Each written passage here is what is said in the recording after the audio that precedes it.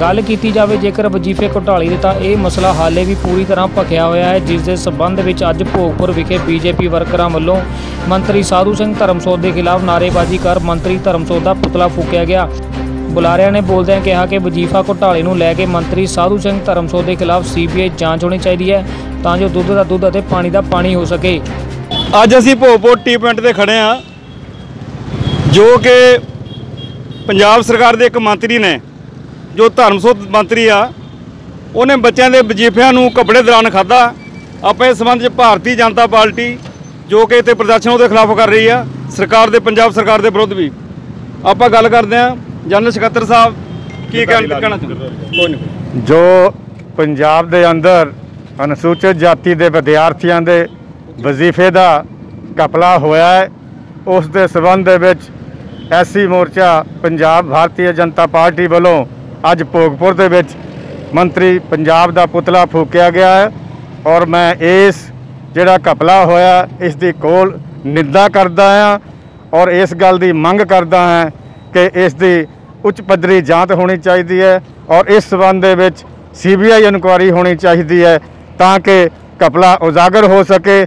ਜਿਹੜੇ ਵੀ ਇਸ ਘਪਲੇ ਦੇ ਵਿੱਚ ਸ਼ਾਮਲ ਲੋਕ ਨੇ, ਉਹਨਾਂ ਦੇ ਉੱਤੇ ਕਾਨੂੰਨੀ ਕਾਰਵਾਈ ਕਰ ਹੋ ਸਕੇ। ਜਿਹੜੇ ਮੰਤਰੀ ਸਾਹਿਬ ਜਿਨ੍ਹਾਂ ਨੇ ਕਪੜਾ ਕੀਤਾ ਕਾਫੀ ਸਮੇਂ ਤੋਂ ਵਿਵਾਦ ਚੱਲ ਰਿਹਾ। ਪੰਜਾਬ ਸਰਕਾਰ ਉਹਨੂੰ ਕਲੀਨ ਚਿੱਟ ਵੀ ਦੇ ਚੁੱਕੀ ਆ। ਕੀ ਕਹਿਣਾ ਚਾਹੁੰਦੇ ਇਸ ਸੰਬੰਧ? ਵਿੱਚ ਇਹ ਤਾਂ ਆਪਣੇ ਆਪ ਉਹਨਾਂ ਨੇ ਆਪਣਿਆਂ ਨੂੰ ਵੰਡ ਦਿੱਤੀਆਂ ਗੱਲਾਂ। ਗੱਲ ਤਾਂ ਦੱਤ ਜਿਹੜੇ ਆ ਉਹਨਾਂ ਦੀ ਕਲੀਨ ਚਿੱਟ ਦੇ ਉੱਤੇ ਭਾਰਤੀ ਜਨਤਾ ਪਾਰਟੀ ਨੂੰ ਔਰ ਐਸਸੀ ਮੋਰਚਾ ਪੰਜਾਬ ਨੂੰ ਕੋਈ ਭਰੋਸਾ ਨਹੀਂ।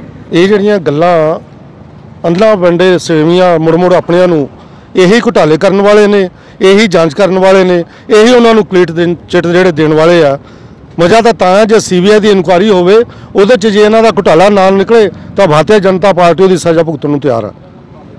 ਹੋਰ ਕੀ ਕਹਿਣਾ ਚਾਹੁੰਦੇ ਆ ਜੇ ਜੇ ਕਾਰਵਾਈ ਨਹੀਂ ਕਰਦੀ ਸਰਕਾਰ?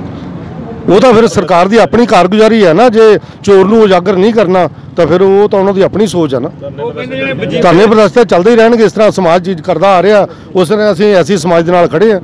ਉਹਦੇ ਵਿਰੁੱਧ ਕੋਈ ਐਫ ਆਈ ਆਰ ਲੌਂਚ ਨਹੀਂ ਕੀਤੀ ਸਰਕਾਰ ਨੇ ਕੋਈ ਉਹਦੇ ਐਕਸ਼ਨ ਨਹੀਂ ਲਿਆ। ਉਹਦਾ ਮੰਤਰੀ ਹੋਣ ਕਰਕੇ ਇਹਦੇ ਬਾਰੇ ਕੀ ਕਹਿਣਾ ਚਾਹੁੰਦੇ? ਉਹ ਤਾਂ ਹੈ ਹੀ ਹੈ ਜੀ। ਕੈਪਟਨ ਸਾਹਿਬ ਕਹਿਣਗੇ ਕਿ ਮੇਰਾ ਮੰਤਰੀ ਕਰਪਟ ਹੈਗਾ ਕਦੀ ਨਹੀਂ ਕਹੇਗਾ ਉਹ। ਇਹ ਤਾਂ ਦੂਜੀ ਜਿਹੜੀ ਏਜੰਸੀ ਹੈ ਉੱਪਰ ਵਾਲੀ ਉਹ ਤਹਿਕੀ- ਤਹਿਕੀਕਾਤ ਕਰੇਗੀ ਤਾਂ ਫੈਕਟ ਸਾਹਮਣੇ ਆ ਜਾਣਗੇ ਸਾਰੇ। ਅੱਜ ਜਿਹੜਾ ਪੁਤਲਾ ਫੂਕਿਆ ਤੁਸੀਂ ਹਾਂ ਕੈਪਟਨ ਸਾਹਿਬ ਦਾ ਪੁਤਲਾ ਫੂਕਿਆ ਇੱਕ ਧਰਮਸੋਤ ਦਾ? ਤੁਹਾਨੂੰ ਸੋਚਦਾ ਜੀ। ਧਰਮਸੋਤ ਦਾ। ਹਾਂਜੀ। ਇਹ ਕੀ ਤੁਸੀਂ ਪੁਤਲੇ ਦੇ ਸੰਬੰਧ ਵਿੱਚ ਕੀ ਕਹਿਣਾ ਚਾਹੁੰਦੇ ਅੱਜ ਦਾ ਕੀ ਸੰਦੇਸ਼ ਦੇਣਾ ਚਾਹੁੰਦੇ ਸਰਕਾਰ ਨੂੰ?